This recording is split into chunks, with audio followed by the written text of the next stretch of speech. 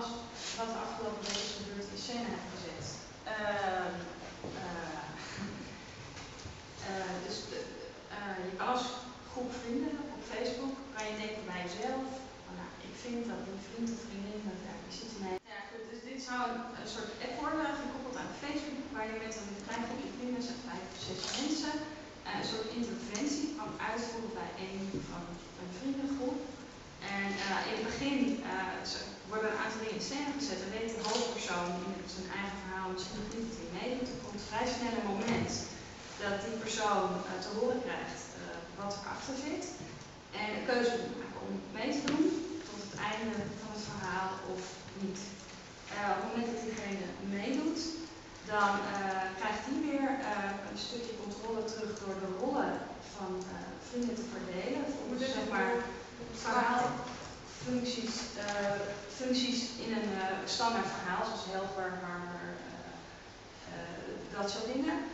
Duiveltje hebben we ook bedacht. Um, en dan krijg je een redelijk geautomatiseerd. De bedoeling dat de mensen dan steeds bij elkaar komen, acht keer, volgens zo'n hero's journey, om, waarin de hoofdpersoon centraal staat en dat ene probleem waarvan die vrienden vinden dat hij of zij daar iets aan moet gaan doen. Kan ook zijn van uh, een nieuwe vriend of vriendin bezoeken voor die persoon, wat dan ook.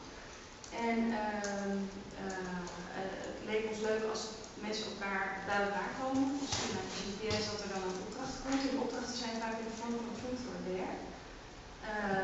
en het, het, mooie van food for dare is dat je moet iets doen wat je moeilijk vindt om te overwinnen. Of je moet iets vertellen of ergens over hebben wat confronterend voor je is of wat dan ook. En dat vonden we goed passen bij zo'n hero's journey. En aan het eind van het verhaal, het is dus een heel, het is een soort verhaal, de structuur van het verhaal, maar het is, uh, het is een heel persoonlijk ding. En de, de vrienden uh, kunnen uh, dus een groot deel van de regie hebben over de gebeurtenissen of de dingen, aangestuurd door ja, vaste momenten of opdrachten uit zo'n app.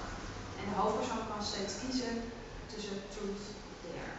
Uh, er moet ook een soort van, anders wel heel, uh, zeg maar, podcastachtig of zo. Dat is niet bedoeling. De bedoeling is een soort voor die hoofdpersoon en ook voor vrienden als groep.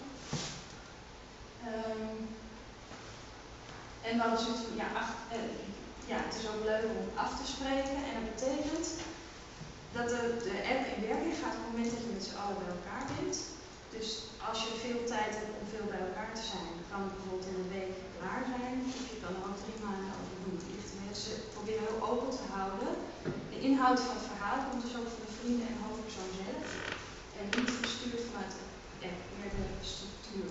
Zeg maar. Van hoe vertel je verhaal. En ja, dat is toch En het gevoel moest zijn um, ja, heel positief, warm eigenlijk naar die hoofdpersoon toe. Het kan niet heel confronterend zijn. Het is ook wel het heeft ook iets liefdevols. En um, Hoe is locatie? Nou, omdat het eigenlijk niet op de locatie zelf, maar meer op dat je op dat moment met z'n allen bij elkaar bent. Of in kleinere groepjes. Dus dat is de vorm van locatiegebondenheid. Wel uh, samen zijn.